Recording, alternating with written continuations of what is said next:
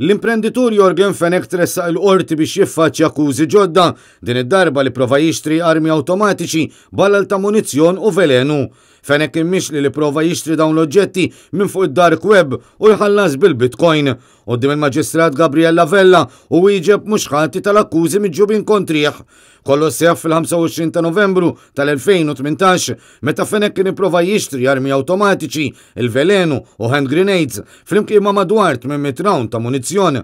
Fl-istess jum Fenek kien ikkuntattja hacker fuq id-dark web biex jikseb aċċess għal telefon li jappartjeni lil individwu mhux identifikat U f'Settembru tas-sena li għaddiet, il-Kap tat-Taqsima fi ħdan il-Pulizija ta' kontra t-terroriżmu qal lill-Qorti dwar l-attentat biex tinxtara pistola u munizzjon li kienu marbutin mal-indirizz ta' Fenech u semma lil missieru mejjet bħala d-destinatarju. Fil-Qorti l-Avukat Charles Mercieqa li flimkien mal-Avukati Gianluca Caruana Karen u Marion Camilleri qed jidher għal Yorgen Fenech Qal li d-difiża ma tistax tifhem għaliex il-Qorti kellha tinfetaħ b'urġenza meta l-akkużat diġà jinsab il-ħabs. Dan filwaqt li qal li l-arrest ma kienx qed jiġi kkontestat.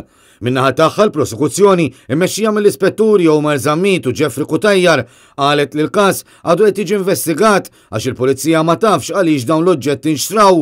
Madankollu l-Erbgħa l-Pulizija kienet f'pożizzjoni li tressaq lill-akkużat Fenech ġie arrestat f'Novembru tal-2019 u akkużat li ħejja l-assassinju ta' Daphne Caruana Galizia u nżamm arrestat minn dakinhar u l-kumpilazzjoni tal-provi kontrih għadha għaddejja.